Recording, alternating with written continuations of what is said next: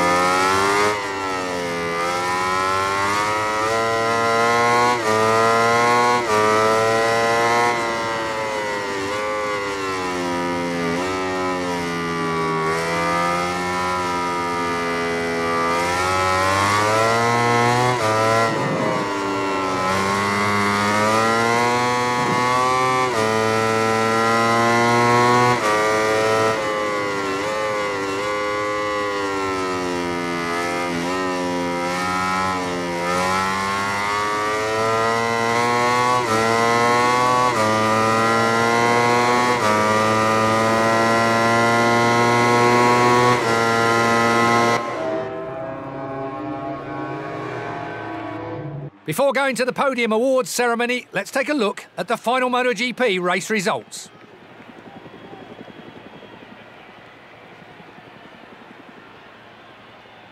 This rider has been able to impose a frantic pace on today's race, and now he and his mechanics are rightly going to party.